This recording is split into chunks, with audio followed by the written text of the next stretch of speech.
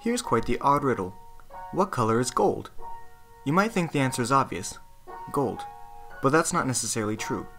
On the nanoscale, at about 13 nanometers, gold particles actually appear red. Your mind is blown, right? Let's understand this difference in behavior between the macroscale gold metal and nanoscale gold metal particles. But first, what exactly is a metal? Sure, we know gold and silver are shiny and precious metals, but there's a lot more to metals than that. In fact, about 75% of all the elements are classified as metals.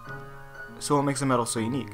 Well, metals can be used as conductors of electricity, meaning they allow the flow of electric charges, such as electrons.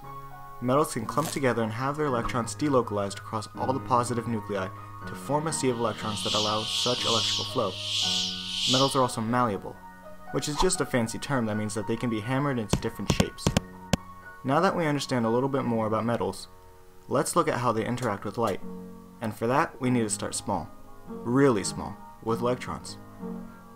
Electrons are tiny negatively charged particles whizzing around the positively charged nucleus. And all of the metals around you have free electrons. Think of these free electrons around a solid, sort of like bees to their hive.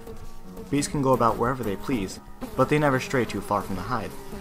These electrons are also organized into energy levels called orbitals, just like how bees have a hierarchy starting with forager bees at the bottom and the queen bee at the top. There are only a few bees working near the hive. A lot of them are further out looking for food. Similarly, with more electrons, only some stay near the nucleus, and the others are organized further and further away into their orbitals. Just how the outermost bees interact with the environment, it is the interaction of the outer electrons with the light that give metals their color. But what is light? Light can be described both as a particle, or a photon, and as a wave of energy. The absorption of light is how we see color. As sunlight hits objects, certain wavelengths of that light are absorbed by the object, and other wavelengths are reflected. These reflected light waves are what we see and are what gives objects color. For example, let's look at this plant. Why is it green? As sunlight hits the plant, green light is reflected, and the other colors are absorbed, which is why the plant looks green.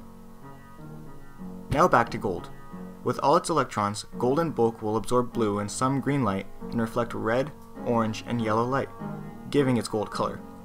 If we go back to the bee analogy with light as a food source, the bees search through the food and only take back the ones they like and leave the ones they don't like in the environment. But why does this change as soon as we get to the nanoscale?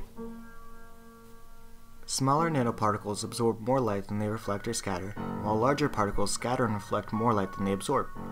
100 nanometer gold particles look purple-blue because they absorb more red light, and 13 nanometer gold particles appear red because they absorb more green light.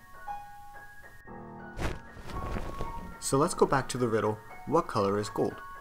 Now you know that, well, it depends, and gold can be a gradient, including gold, purple-blue, or red. Gold's color changes as you go from the macro scale to the nanoscale, and what's interesting to note is that this change based on size is true for other properties as well, like toxicity, boiling point, and conductivity. Understanding these behavior changes can lead us to groundbreaking discoveries that can help improve the conditions of the world.